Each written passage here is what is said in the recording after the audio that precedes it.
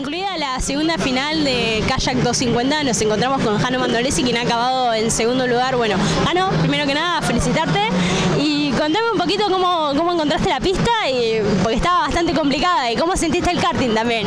Hola, ¿cómo va? ¿Todo bien? Eh, bien, era un vidrio. Cuando doblamos la primera curva pensé que tenía algo roto porque no doblaba y no, después vi que era la pista.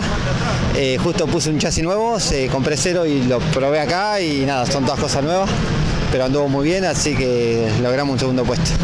¿Seguimos con el, chasis nuevo ahora para las próximas fechas o lo cambiamos? No, no, me quedo con el nuevo, anda muy bien, me toca acostumbrar yo, pues dos años seguidos corrí con el otro y, hoy fue todo nuevo y no anduvo muy bien, así que estoy muy contento con eso y sé que estamos para dar un poquito más.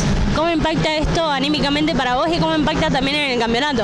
No, bien, estoy, vengo segundo y con esto me ayuda voy peleando con Nebuen y esto me ayuda un poco que está lejos, ya me sacó como treinta y pico, pero bueno, quedan, quedan como cinco fechas todavía, así que vamos, vamos con todo. Oye, ¿a quién le agradecemos este podio?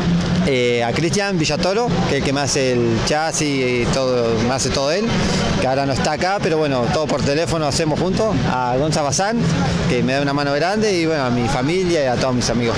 Bueno, muchas gracias y éxitos para lo que viene. Bueno, gracias a ustedes por la nota y nada, muchas gracias.